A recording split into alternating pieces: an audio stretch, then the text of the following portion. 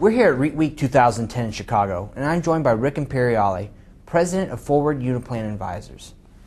You founded Uniplan roughly 25 years ago. How has the REIT industry changed in that time period?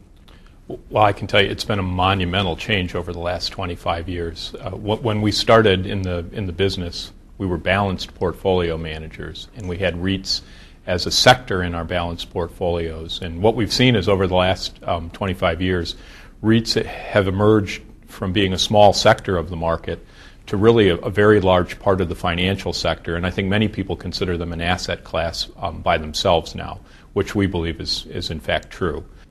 And what would you say are the greatest benefits of REIT investment? Well, what we found, and we found this early on when we managed balanced portfolios at Uniplan, was the notion that putting REITs in the portfolio added to the total return, but it also reduced the volatility in the portfolios because we found that REITs really behaved very independently of stocks and bonds and, and they seem to much more reflect the local market conditions of the real estate that was owned and much less reflection of uh, stocks and stock and bond movement. So diversification, I guess, would be the answer.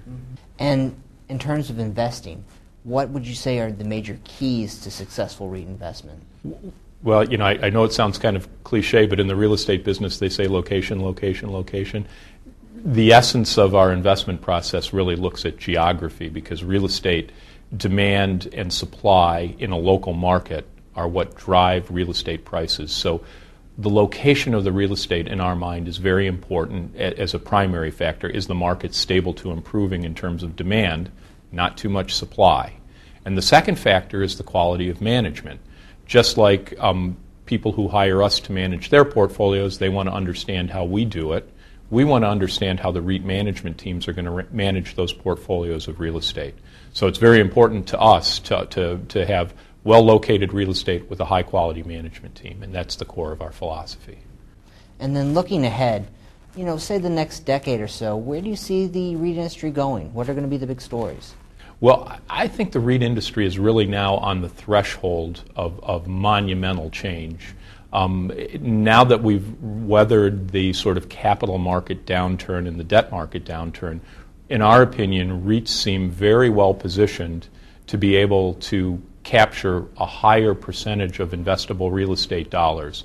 So, our thesis is over the next decade, um, commercial quality public real estate is going to grow at least double in size over the next decade.